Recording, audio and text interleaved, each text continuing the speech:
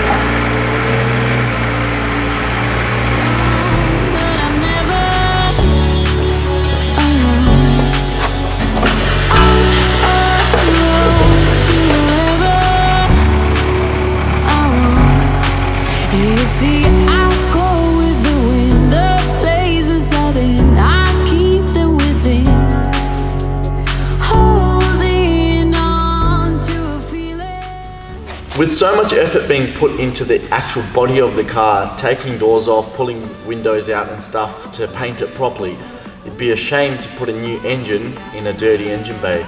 So instead of just color matching it, I'm gonna go through a little bit more effort and try shave it. I've never done it before, so this will be my first time doing it. So tag along and see how it all turns out.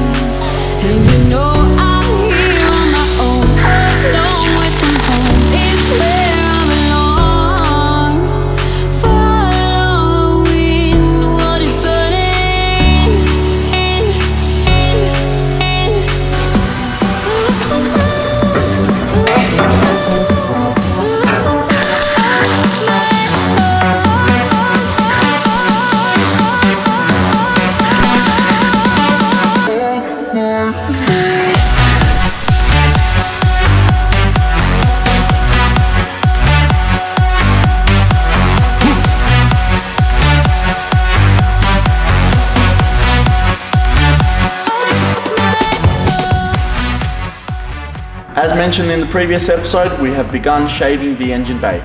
So nothing too crazy, minor engine bay shave, plug some of the holes up that won't be getting used. So far, most of the holes have been welded up by myself for the first time ever.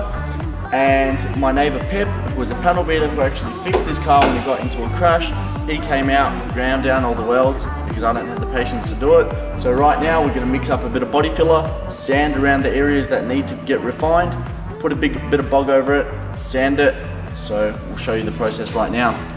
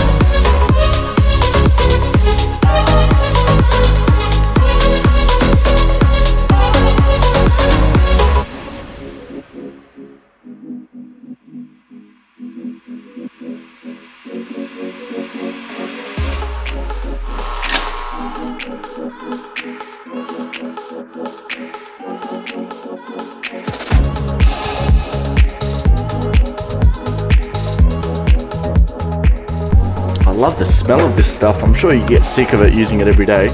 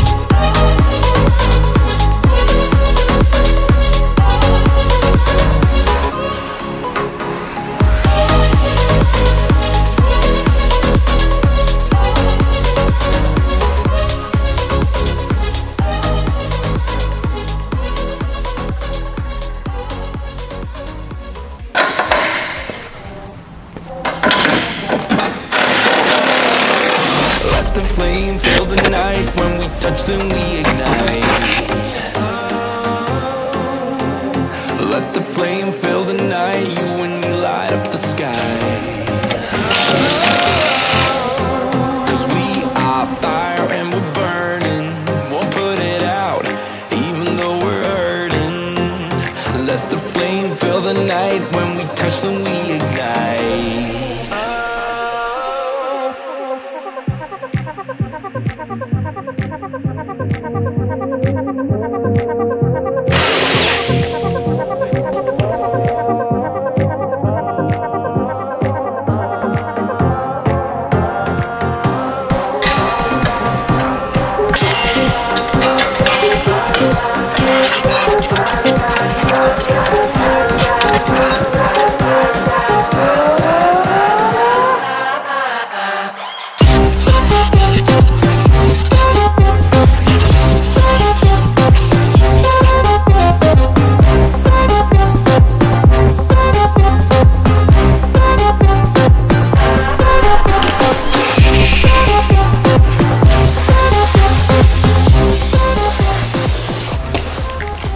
so this will just be a quick update of what I've done so far in the engine bay. So all the holes got plugged up, they got ground down, then body filler I've put over every sections that was that was welded up.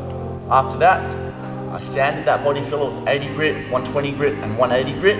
Now all those surfaces are now prepared for the epoxy primer, and epoxy primer does usually go on bare metal, I'm pretty sure, but I like using it because it's really, really thick and it allows me to get an even nicer shape before I go over it with a high fill primer. Now, I've gone over with the wire wheel on the drill, removed all the um, seam seal around the strut towers and the chassis rails. So the job now is to go over it with some 320 grit sandpaper on a whizzer and scuff up the whole engine bay, reapply the new seam sealer and epoxy those sections that got that got sanded wherever the body filler was on. So yeah, we'll do that right now.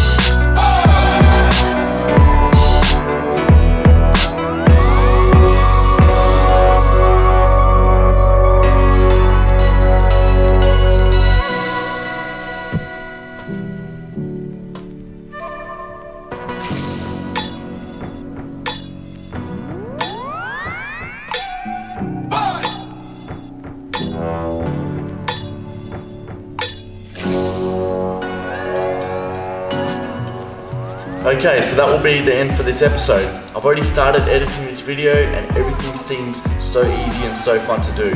This was a very, very time consuming process. Not necessarily expensive to do, but there was a lot of labor involved. So I had my friend Mickey and my neighbor Pep, who's a panel beater. Both of them came out and they smashed out a lot of the work. So a lot of the cutting, grinding and welding they did. I did most of the body filler, the primering, the sanding and stuff like that. Would I ever do this project again, something like this? Probably not. I would rather just pay someone to plug the holes up, grind them down, and then I don't mind doing the body filler and the primary. But yeah, cutting, grinding, and welding is really not for everybody. Um, so in the next episode, we might even see a bit of color in the engine bay. Of course, it will be red, same as the rest of the car. And also, tomorrow we're going to have to get this car somehow off the lift onto a forklift and we're gonna prepare the underside to get um, the black underbody protection. So that is what you will be looking forward to in the next episode. Today is the 26th of December.